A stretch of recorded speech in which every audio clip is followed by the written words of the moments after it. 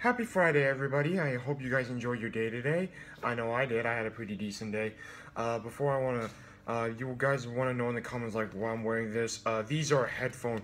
These are wireless earbuds uh, slash headphones. Uh, just so you know, this is actually made from, uh, made from the BC. This is actually an LG. This one's really in, uh, this one's really interesting. I got this for, for last Christmas. I got this from my aunt. I want to thank you to her.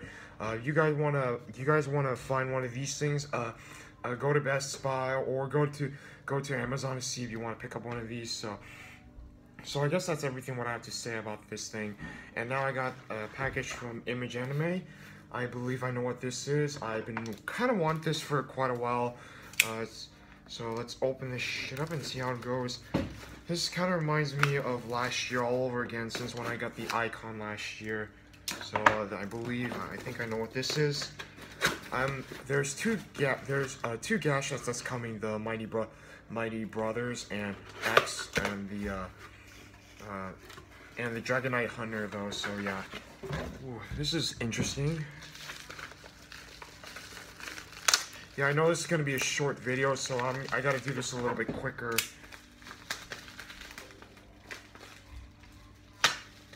Alright, here we go. And there it is. Okay.